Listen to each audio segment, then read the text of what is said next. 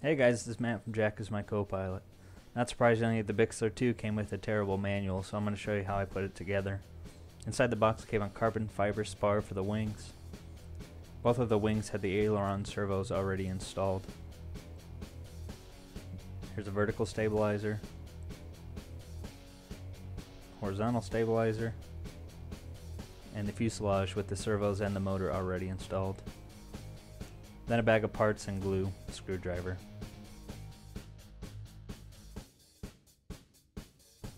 So here's the electronics I'm going to use. There's an E-flite 30 amp ESC. Here's two SV80 servos for the flaps.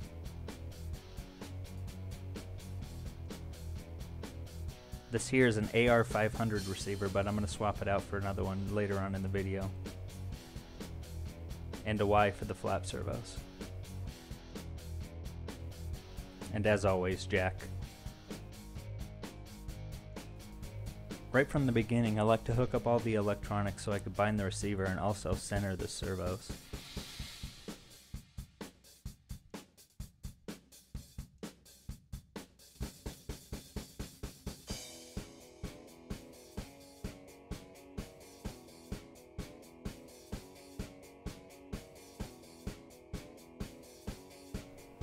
This piece of foam right here pops out so you can put in the servo for the flaps.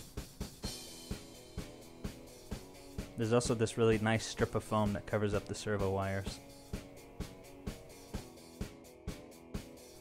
i hot glue in my servo.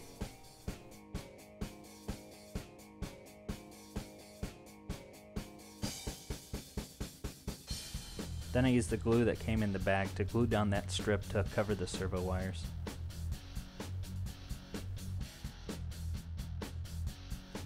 Pretty much a type of rubber cement, so you gotta set it off to the side to let it get tacky before you put the strip on.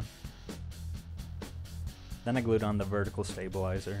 In the book it had you put on the horizontal stabilizer and then the vertical stabilizer, but this way is much easier.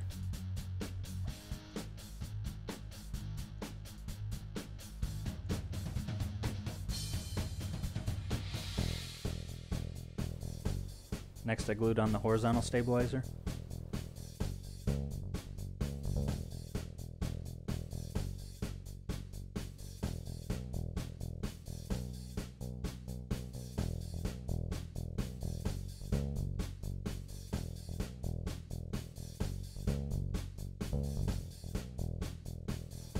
Once the glue on the wing got tacky, I put down the strip to cover the servo wires.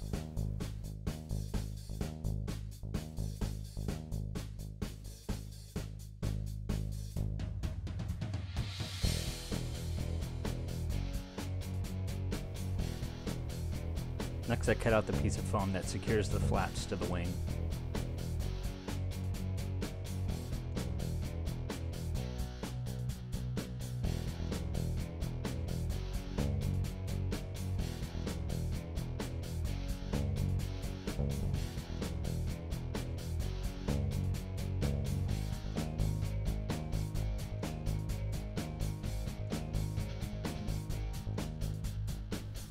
Next I put on the servo horns. Make sure the holes are on the inside, pointed towards the hinge.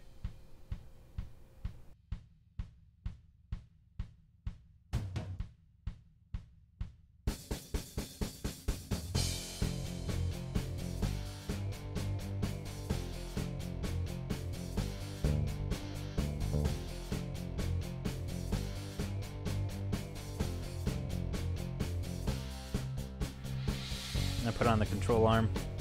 The clevises for this kit are really kind of bad. They snap together instead of having a rubber retaining ring. I'll probably change them out later.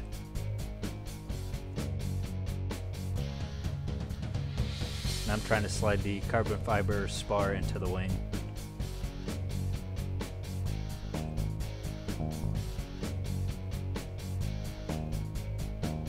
As you're feeding this in, you have to put these servo wires down through the hole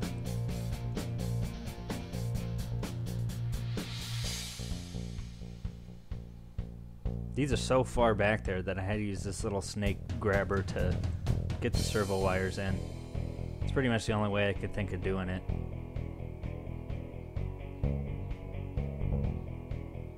I did the same thing with the other wing.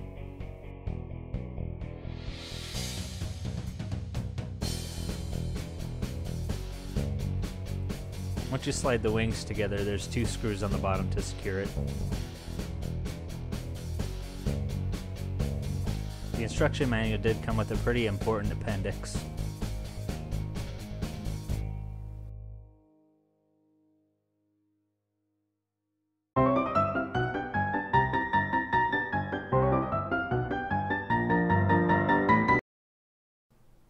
There is one major flaw in this airplane. The flap servos are facing in opposite directions. This is how you want it for ailerons because the ailerons move in opposite directions. But since the flaps pull in one direction, the servos need to be pointing in the same direction. Now you can pull out the servo and cut a new hole, mount it in the opposite direction, or they also sell a Y harness that'll swap it for you. But the way I chose to do it was replace my 5 channel receiver with a 6. Instead of using a Y, I hooked up one servo to the gear and one servo to the auxiliary, and then I'm going to mix it inside the radio. Now in order for this mix to work for you, you're going to want the right side flap to be going down. If it's not, then just swap the gear and the auxiliary wires. Then you're going to navigate in your menu down to Mix 1. Then you're going to change this from inhibited to activated. I'm assuming that's what those mean. Make sure this first setting is on gear. You want the second one on flaps.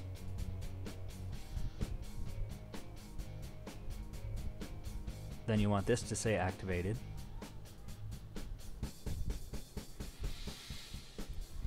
When you go down to rates, you want down or D to be at plus 125.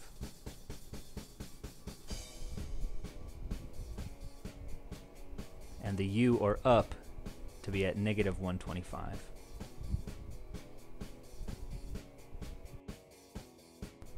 Next, make sure the switch or SW is on gear.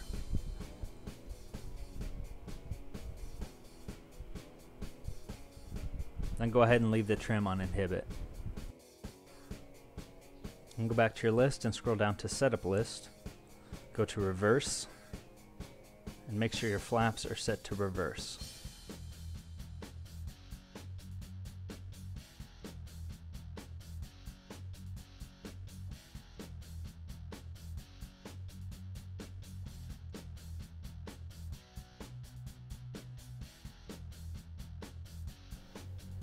Then you want to go ahead and pull off your other servo horn.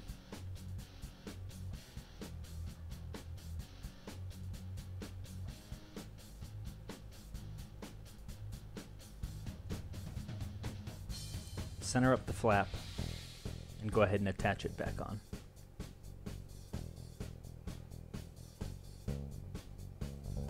Now it should be working perfectly.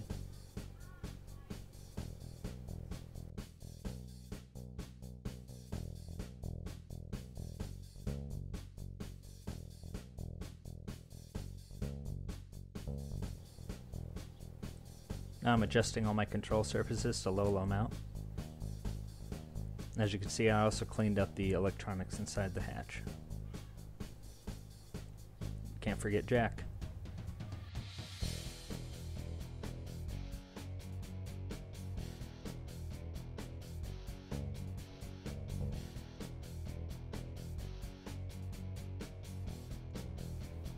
I'm tightening on the prop. On this one you want the teeth to be pointed to the back of the airplane. And test it out.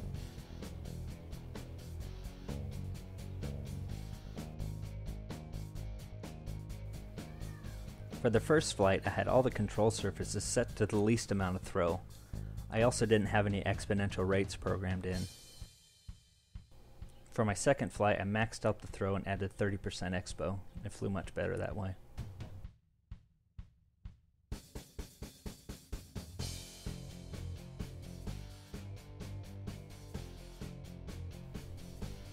Keep an eye out for my next video where I'll set up and test the FPV system.